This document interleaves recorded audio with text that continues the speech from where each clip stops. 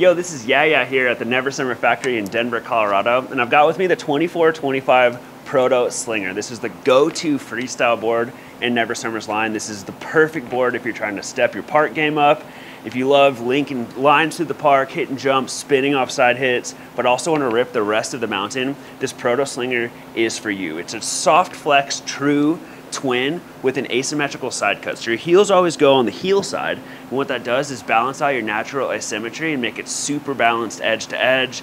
It also has the press flex core taper. So between the bindings, the core is thinner, which allows like a hinge point to lock into presses and lock onto rails.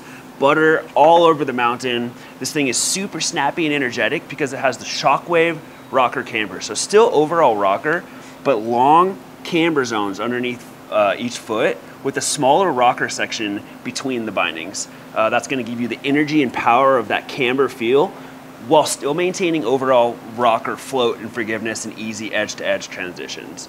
The Slinger also features Carbon VXR carbon configuration, Carbon Vs on tip and tail, which take that energy from underfoot and just blast it out to the edges and to the tip and tail. So extremely energetic on nose and tail, but soft flex torsionally so you can still control your edges at slower speeds uh, while you're ripping through the park. Uh, it's a soft flex,